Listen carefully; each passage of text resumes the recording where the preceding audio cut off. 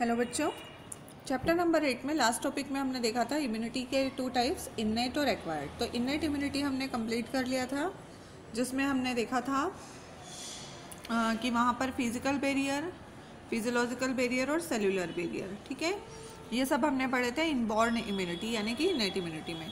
तो आज जो है हम नेक्स्ट देखेंगे उसका अगला टाइप जो कि है एक्वायर्ड या स्पेसिफिक इम्यूनिटी तो ये क्या होता है देखिए। It is the defence mechanism acquired by healthy person against specific pathogen and infection clear है? ये कौन सी इम्यूनिटी है? Which is brought about by an immune system which is develop after infection मतलब जब कोई इन्फेक्शन होगा, जब कोई पर्टिकुलर पैथोजन हमारे ऊपर अटैक करेगा या इन्फेक्शन फैलाएगा तो ये हमारा जो डिफेंस मैकेनिज़्म है, वो उसके अगेंस्ट काम करेगा। और इसे हम कहते हैं third line of body defence जो फ़र्स्ट लाइन था वो तो क्या था? स्किन और फ़िज़िकल बैरियर थे। सारे। सेकेंड लाइन में क्या था? जो सेल्यूलर वाला है। ठीक है? जब फ़र्स्ट लाइन ऑफ़ डिफेंस काम नहीं कर पाती तो सेकेंड लाइन ऑफ़ डिफेंस यानी कि जो फेगोसाइटिक बैरियर्स है डब्ल्यू बी सी लिम्फोसाइट्स और इंटरफेरॉन्स और ये जो है हमारी एक्वायर्ड इम्यूनिटी मतलब जब कोई पर्टिकुलर पैथोजन हमारे ऊपर अटैक करेगा स्पेसिफिक पैथोजन तो उसके अगेंस्ट जब हमारा डिफेंस मैकेनिज्म काम करेगा तो उसे हम कहेंगे third line of body defence ठीक है? तो यहाँ पर ये क्या होता है? Formation of antibodies and lymphocyte that attack and destroy the pathogen इसमें आती है एंटीबॉडी ये देखिए लिम्फोसाइट्स जो हैं इम्पोर्टेंट कंपोनेंट है। Activating specific body defence. यहाँ पर सबसे इम्पोर्टेंट कंपोनेंट है लिम्फोसाइट्स और दो प्रकार की यहाँ लिम्फोसाइट्स होती हैं टी लिम्फोसाइट और बी लिम्फोसाइट ठीक है? तो ये क्या हो जाएगी? एक्वायर्ड इम्यूनिटी अब देखिए टी लिम्फोसाइट टी लिम्फोसाइट जो है, वो क्या है? Undifferentiated lymphocyte originate from stem cells of bone marrow. Bone marrow में ये बनती हैं। ठीक है? बोन मैरो में ये बनेगी। Undifferentiated lymphocytes originate from stem cells of bone marrow bone marrow से ये बनती हैं। Some of them migrate to thymus gland and differentiated into T lymphocytes इनमें से कुछ जो है, कहाँ पर आती है? थाइमस ग्लैंड ये देखिए थाइमस ग्लैंड जो होता है ना जिसको हम बोलते हैं कि बच्चों में, हमारे बर्थ के समय ये प्रेजेंट रहता है और हार्ट के जस्ट पास में और धीरे धीरे जब हम प्यूबर्टी की तरफ़ जाते हैं ना बारह साल की एज तक हमारी इम्यूनिटी बन जाती है तो उसके बाद इसका जो साइज़ है वो रिड्यूस होने लगता है। तो जो ये बैन बोन मैरो में ये टी लिम्फोसाइट्स बन रही हैं, वो कुछ जो है वो कहाँ चली जाती है? थाइमस ग्लैंड में और इसीलिए इनको हमने क्या नाम दिया है? टी लिम्फोसाइट्स फिर उसके बाद जो है, वो है B lymphocyte undifferentiated lymphocyte originate from the stem cell of bone marrow ये बोन मैरो में ही बनेगी. Some migrate to bursa equivalent and differentiated into B lymphocyte ठीक है? Bursa equivalent is a hypothesis tissue in bone marrow hypothetical बोलते हैं ना हम। तो ये क्या है? Hypothesised lymphoid tissue in bone marrow bursa equivalent तो इसको इसीलिए हमने क्या नाम दिया है? बी लिम्फोसाइट ये मैमल्स में पाया जाता है, ठीक है?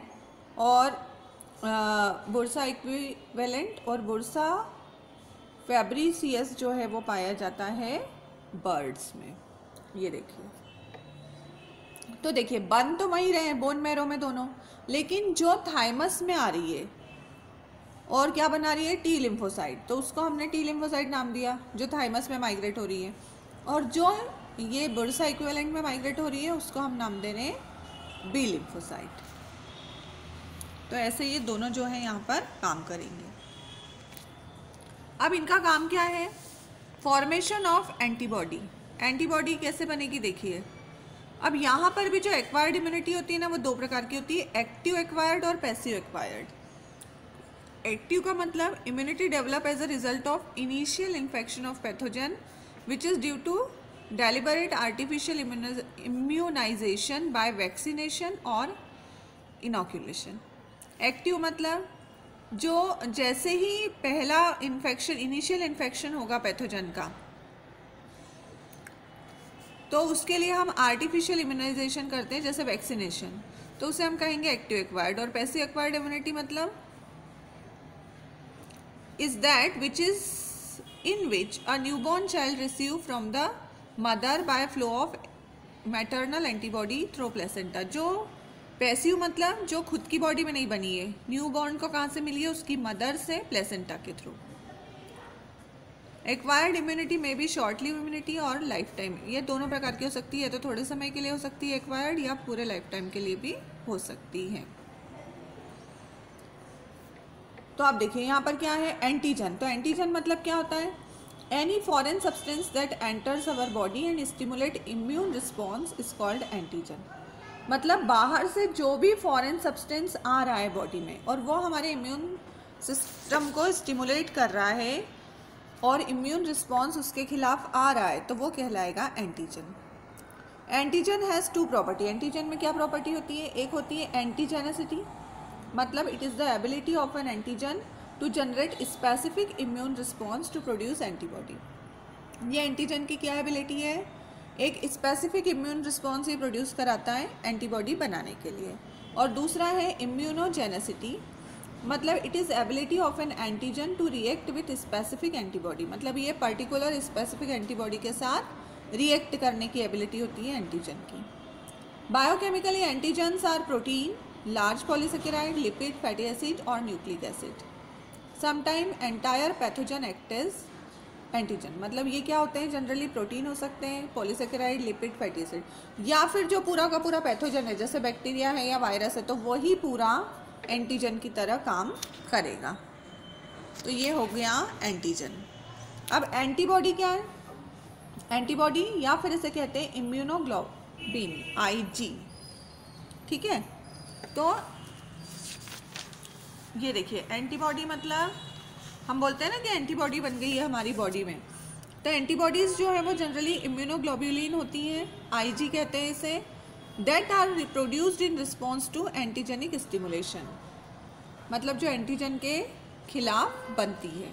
Antibodies are called immunoglobulin because they mediate immune reaction and belong to a class of protein called globulin मतलब ये कौन से प्रोटीन से बनी होती है? ग्लोबुलिन प्रोटीन से, इसलिए इन्हें कहते हैं immunoglobulin the protein molecule that produce by B lymphocyte ये किसके द्वारा बनती है? बी लिम्फोसाइट के द्वारा अगेंस्ट अ स्पेसिफिक एंटीजन एक पर्टिकुलर एंटीजन के खिलाफ ये बनती है तो इसे हम बोल रहे हैं antibody these are mainly classified into five type इसके फाइव टाइप्स होते हैं आई G M I G A I G D I G ई और आई जी जी ठीक है, ये पाँच प्रकार हैं इसके.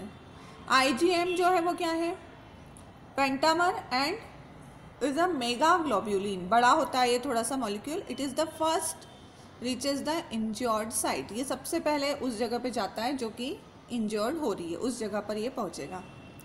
I G A is the secretory antibody ठीक है? आई जी डी जो है, ये क्या करती है? Binds to B lymphocyte B lymphocyte के साथ ये बाइंड करेगी and act as a surface receptor surface receptor की तरह ये काम करती है। I G E play important role in allergy ये एलर्जी के टाइम काम करेगी जब भी कोई एलर्जी होगी। और आई जी जी जो है crosses placenta and protect foetus मतलब ये प्लेसेंटा से होते हुए फीटस तक पहुँचती है और उसको प्रोटेक्ट करने का काम करती है। ठीक है? तो ये सारी एंटीबॉडी हैं। ये देखिए, इसका स्ट्रक्चर एंटीबॉडी का। इससे पहले देखिए, हम थोड़ी सी उसकी प्रॉपर्टी देखते हैं कि एंटीबॉडी की क्या प्रॉपर्टी होती है। एंटीबॉडीज़ जो है, वो ग्लाइकोप्रोटीन है। है ना? फिर उसके बाद all antibodies are immunoglobulin but are immunoglobulin are not antibody सारी एंटीबॉडी इम्यूनोग्लोब्यूलिन की बनी है बट सारे इम्यूनोग्लोबिन एंटीबॉडी नहीं है। They may bound to a cell membrane और रिमेन फ्री या तो ये सेल मेम्ब्रेन से बाउंड होंगी या फिर फ्री रह सकती हैं। These are produce by B lymphocyte B lymphocyte से प्रोड्यूस्ड होंगी। Antibodies direct and anti direct the antibody mediated immunity ठीक है? Antibodies are monospecific molecule monospecific molecule है मतलब they combine only with single type of antigen वो केवल एक ही प्रकार के एंटीजन से एक प्रकार की एंटीबॉडी बाइंड होती है। These are produced in response to specific antigen stimulus जब भी कोई स्पेसिफिक एंटीजन आता है तो ये बनेंगी। अब देखिए इनका स्ट्रक्चर एंटीबॉडी जो है, किसकी बनी हुई है? प्रोटीन की इम्यूनोग्लोबिन की तो इम्यूनोग्लोबिन मॉलिक्यूल जो है, उसमें चार पॉलीपेप्टाइड की चेन्स होती हैं which are link together by disulphide bond to form a Y shaped molecule of four chain यहाँ पर चार चेन है पॉलीपेप्टाइड की, और ये वाई शेप का स्ट्रक्चर आपको दिख रहा है, ये पूरा बन रहा है। ठीक है, और इनके बीच में जो बॉन्ड है, वो है डाइसल्फाइड बॉन्ड चार चेन में से दो लॉन्ग चेन होती है, जिन्हें हेवी चेन कहते हैं हम। ये देखिए, ये हैवी चेन्स और ये लॉन्ग चेन्स है तो ये क्या है? हेवी चेन और दो जो स्मॉलर हैं, उन्हें कहते हैं लाइट चेन ये आसपास वाली जो छोटी हैं, वो क्या कहला रही है? Light chain four polypeptide chains are held together by disulphide bond disulphide bond से ये जुड़ी हुई है. लाइट चेन जो है, उनका मोलिकुलर वेट जो है, वो होता है twenty three thousand and are compose of about two hundred amino acid इनमें टू हंड्रेड एमिनो एसिड होते हैं और light chains are common to all immunoglobulin it is either lambda और कापा टाइप के लाइट चेन होंगे। Heavy chain का जो molecular weight है वो डबल होता है लाइट चेन से मतलब फिफ्टी थाउज़ेंड से सेवेंटी फाइव थाउज़ेंड के करीब होगा और एमिनो एसिड भी इसमें होते हैं करीब करीब फोर हंड्रेड ठीक है? तो ऐसा ये पूरा एंटीबॉडी का स्ट्रक्चर है, जो कि आपको अच्छे से कर लेना है। इसका डायग्राम भी कभी कभी पूछते हैं। ठीक? अब देखिए, हर chain each chain content constant and variable region her chain में कांस्टेंट और वेरिएबल रीजन है। In constant region the amino acid sequence are constant and same in all antibody जो कांस्टेंट रीजन है ना, वहाँ पर जो एमिनो एसिड का सीक्वेंस है वो हमेशा कांस्टेंट रहेगा और सारी एंटीबॉडी में सेम रहेगा।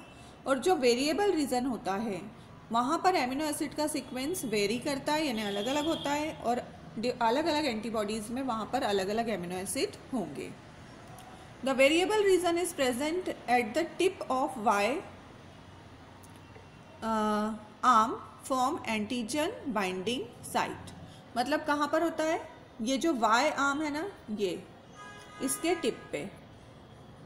और इसे हम कहते हैं एंटीजन बाइंडिंग साइट ये जो है अलग अलग होगा हर एंटीबॉडी में। क्लियर है? तो इसका डायग्राम आपको अच्छे से कर लेना है। ये देखिए, पूरा प्रॉपर दिया हुआ है। ये एंटीजन कंबाइनिंग साइट ये वाई वाला जो चेन का ऊपर वाला पार्ट है, यहाँ पर एंटीजन आके जुड़ते हैं।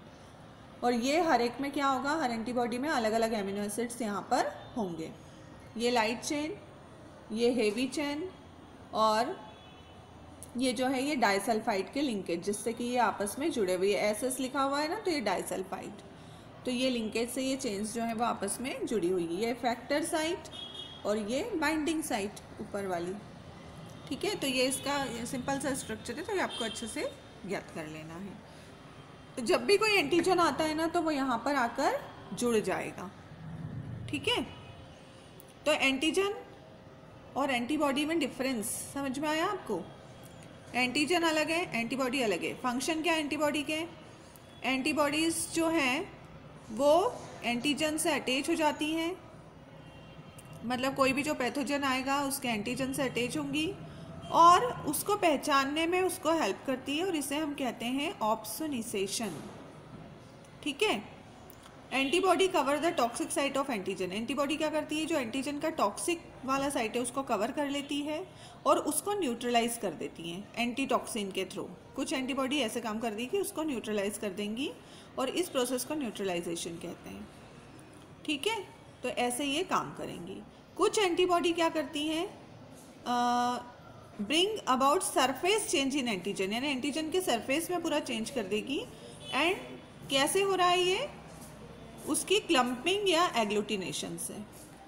ठीक है? तो ऐसे वो एंटीजन को ख़त्म करने का काम करती है। एंटीजन मतलब foreign material that bring about reaction in the body बाहर का कोई भी सब्सटेंस है जिसे हम एंटीजन कह रहे हैं, ये क्या करते हैं?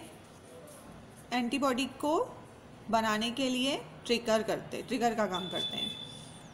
ये जनरली प्रोटीन होते हैं या पॉलीसेकेराइड होते हैं और ये डिसीज़ या एलर्जिक रिएक्शन फैलाते हैं एंटीजन और एंटीबॉडी क्या है? Biochemical formed in the body for combating antigen जो एंटीजन से लड़ने के लिए बन रही है। इनका प्रॉपर एक स्ट्रक्चर होता है है ना? प्रोटीनिशियस नेचर की होती है एंटीबॉडीज़ और प्रोटेक्टिव नेचर की होती हैं। अब देखिए role of B lymphocyte lymphocyte जो है, वो क्या हो रहे हैं? जो बोन मैरो में बन रहे हैं बी लिम्फोसाइड किसको बोल रहे हैं? जो बर्सा इक्विवेलेंट पे जा रहे हैं माइग्रेट हो रहे हैं। जब एंटीजन बॉडी में एंटर करता है तो बी लिम्फोसाइड स्टिमुलेट हो जाते हैं और क्या बनाते हैं? एंटीबॉडी बनाते हैं। Once the antigen specific antibody produce जब एंटीबॉडी बन जाती है तो बी लिम्फोसाइड क्या होंगे? एक्टिवेटेड होंगे मल्टीप्लाइज होंगे, यानी अपने नंबर बढ़ाएँगे। रैपिडली जल्दी जल्दी मल्टीप्लाई होते हैं to produce number of clonal cell बहुत सारे क्लोन्स ये उसके बनाएँगे। The clone B lymphocyte differentiated into plasma cell ये किसमें डिफ्रेंशिएट हो जाती है? प्लाज्मा सेल्स में। This cell produce specific antibody against antigen ये क्या करती है? ये क्या करती हैं? स्पेसिफिक एंटीबॉडी बनाती है स्पेसिफिक एंटीजन के against clone B lymphocyte that undifferentiated remain as memory B cell जो क्लोन बी लिम्फोसाइड अनडिफ्रेंशिएटेड है, वो कैसे रहती है? मेमोरी बी सेल के फॉर्म में। When the same antigen enter again in future memory cells response rapidly to destroy them. मतलब जब सेम एंटीजन बाद में कभी फ्यूचर में हमारे ऊपर अटैक करेगा तो ये मेमोरी सेल्स जो हैं उसके खिलाफ लड़ेंगी और उसको डिस्ट्रॉय कर देंगी। ठीक है? तो एक बार यदि किसी स्पेसिफिक एंटीजन के खिलाफ एंटीबॉडी बन जाती है तो दोबारा यदि वो फ्यूचर में अटैक करता है तो उससे ये एंटीबॉडीज़ लड़ती हैं और हमको वो बीमारी होने के चांसेस बहुत ही कम रहते हैं। ये देखिए। इस प्रकार से। है ना? ये देखिए, माइटोसिस हो रहा है इसमें, ये एंटीजन आया। तो ये जो है सेल्स इसमें क्या चल रहा है? माइटोसिस। माइटोसिस से इसने ऐसे ये दो बनाई। फिर इन, इन्होंने अपने ये क्लोन बनाना शुरू किए। ये देखिए, एक से दो दो, एक से दो ये माइटोसिस इनमें चलता जा रहा है। ये प्लाज्मा सेल और ये जो ये प्लाज्मा सेल बनाई ये जो है उनसे लड़ेंगी एंटीजन से। और क्या करेंगी? एंटी आ, उसको डिस्ट्रॉय कर देंगी। और ये जो, जो कुछ जो अनडिफ्रेंशिएट रहती हैं वो किस फॉर्म में रहेंगी? मेमोरी सेल के फॉर्म में। ठीक है? मेमोरी सेल के फॉर्म में रहेंगी और जब फ्यूचर में वो एंटीजन आएगा तो उसके खिलाफ ही लड़ेंगी और उसको डिस्ट्रॉय कर देंगी। ये बी का काम है। अब टी लिम्फोसाइट का क्या काम है? टी लिम्फोसाइट क्या करती है? सेल मीडिएटेड इम्यूनिटी है ना?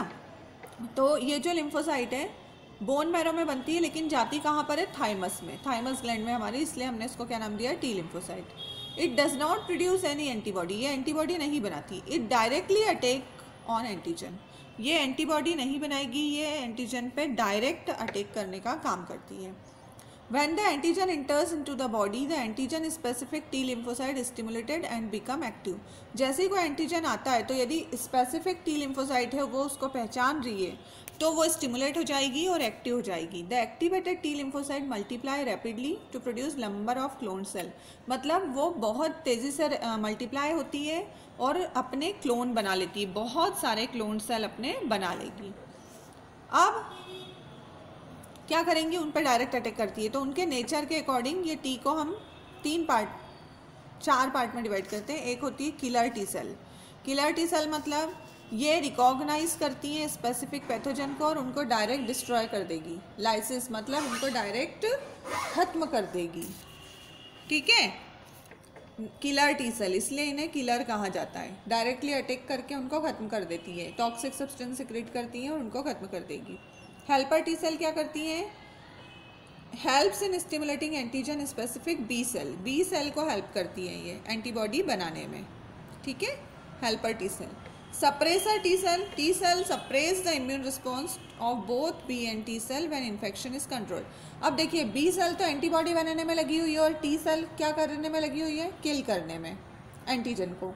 लेकिन जब इन्फेक्शन ख़त्म हो गया है तो भी ये काम करती रहती हैं।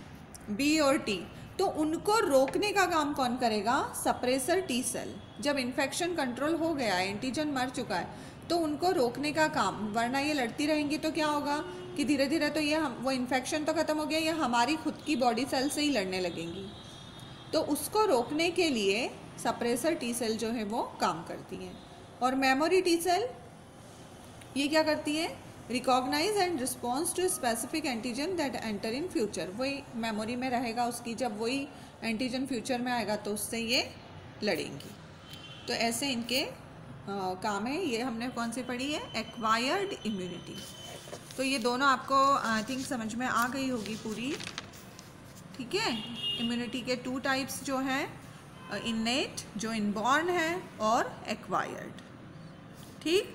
यहाँ पर आपको एक क्वेश्चन कर लेना है बी एंड टी सेल में डिफरेंस बी सेल जो है वो क्या है? इसको हम बोलते हैं this cell form humoral system and T cell में this cells form mediated immune system B cell act against virus and bacteria that enter the blood and lymph. Do not react against transplant and cancerous cell ठीक है?